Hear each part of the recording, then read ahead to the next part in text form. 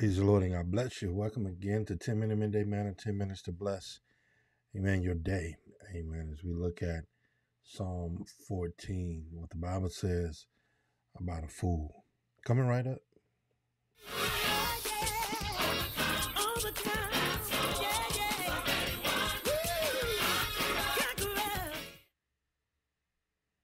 Amen. We thank God for you being with us on today. We praise God for his blessings and all his acts of kindness. And we just come with you with a short 10 minutes in the Word of God. We don't get super deep. We love to have you come with us at 420 South Pollard Street in Vinton, Virginia, where we, amen, value the Word of God.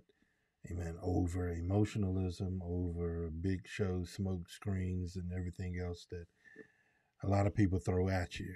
But we we want the manna. We want the Word of God where we are. And today we're going to look at Psalm chapter 14, and we would love it if you would like, uh, subscribe, leave a comment, leave a greeting uh, in the comment section, just to interact with this video so somebody else. And what that does is it helps us to be uh, presented to more people. YouTube, Facebook, they use that as a as a metric to be able to present this to people who may not normally see this. So if you care about spreading the word of God, if you care about the success of, success of ministry, you have it in your hand to bless by clicking the like button or sharing it to people uh, that you can so that uh, God's word can go out to more. And you don't know how much of a blessing it will be.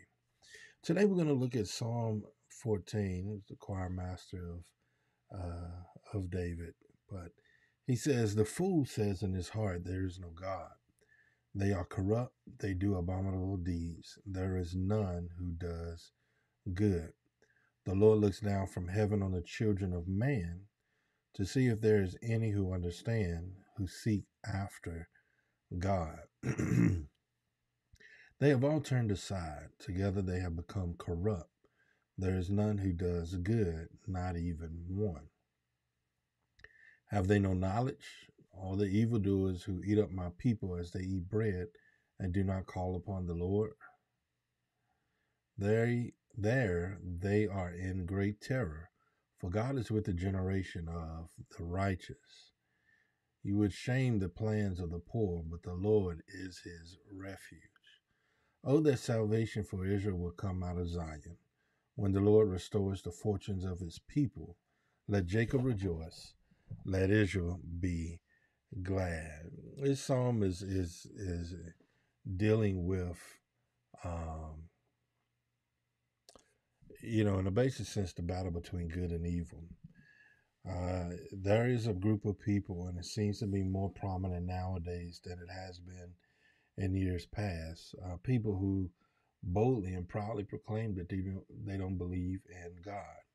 Um, and I find that a lot of people that claim to be atheists or and um, I can't the word just slipped as soon as I tried to say agnostic, excuse me. Atheists, agnostic, don't want to acknowledge that there is a God a lot of times are not really for Satan. They just against their religious community as a whole.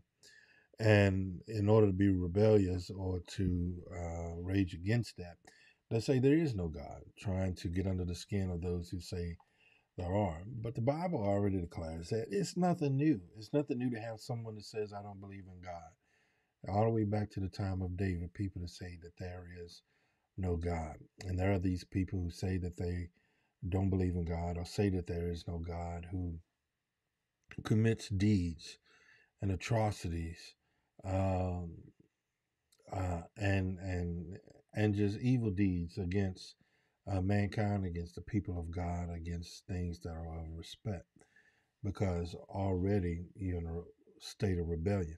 Uh, the book of Romans, in uh, early part, the first chapter, it talks about God can be seen by things. God can be known by things that are seen. I mean, the whole creation, the whole earth, trees, stars, all of that testifies to a God. We can't create things. Name something we have created. I'm talking about something we've created out of nothing. We can clone, but can we create? We can we can uh, breed, but can we create? We can take two plants and make another plant, but can we create a plant? Uh, can you create soil? Can you create an atom? Uh, even uh, Isaac, Sir Isaac Newton, he says matter is neither created nor destroyed. Uh, to an extent, he's right. But when God said, let there be, matter was created because he is the source of creation. Uh, now I understand that water turns into steam, steam turns into vapor, vapor condenses.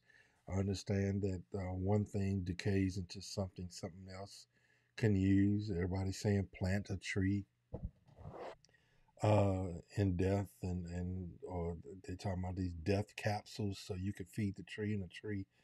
All of those things. We know that matters neither created nor destroyed, but matter was created by God when He said, "Let there uh, be." Man doesn't have that power. Man doesn't have the power uh, to forgive sins. Man doesn't have the power to create. That's why you understand the theophany of God, the presence of God in the Old Testament, when He didn't declare what somebody else said, but uh, the angelic visits uh, declared, I will, or declared, this shall happen, um, because there was authority of God um, in a in a in an Old Testament visitation in whatever angelic form God used at the time. And so God looks at us in our foolishness to say that there is no God, and He sees that people just dull of understanding.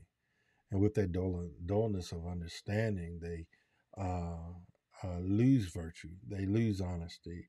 Uh, when they become their own morality, they lose uh, the guiding lights, the principles of God. When God's wisdom is above our wisdom, we have a, a generation now that has come, uh, as it says, become corrupt, doesn't do good, uh, doesn't seek the presence of God, doesn't seek the things of God. But those who are wise and those who are smart seeks the presence of God, honors His house, honors the church. Uh, anybody wise will know that anything genuine will produce a fake. We believe that Louis Vuitton, uh, and we believe there's a fake. We believe they're Air Force Ones, they're Jordans, they're J's, or whatever you want to call it. But we know there's a fake. Why don't you think that something as pure and holy and righteous as the church, that a lot of fakes wouldn't come up?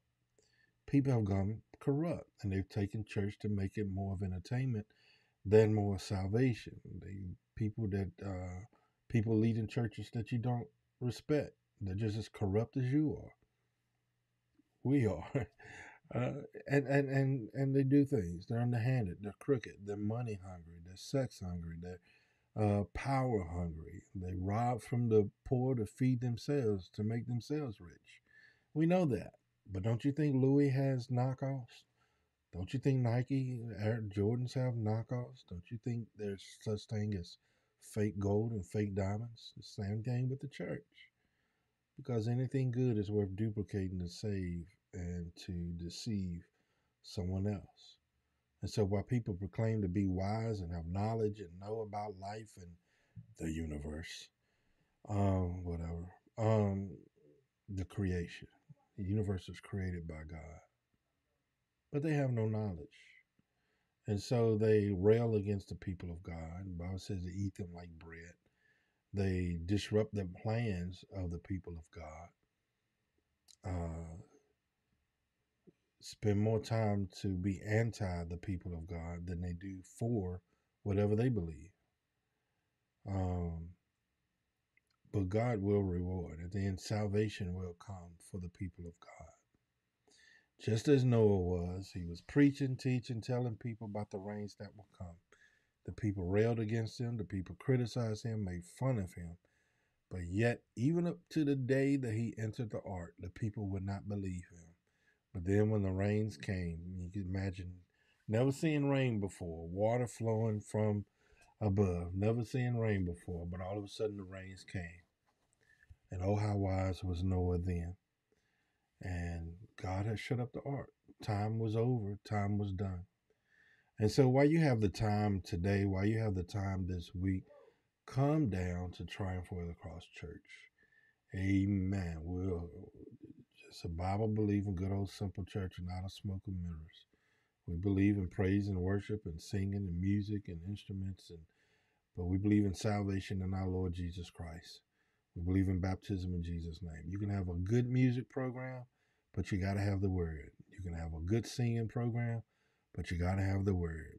You can have a good childcare, daycare, bookstore, coffee shop in your church, but you got to make sure the people know the word. And the word is not just uh, feel good stories to make you handle your week, but it's salvation for your soul. It's salvation. It helps you to be born of the water and of the spirit.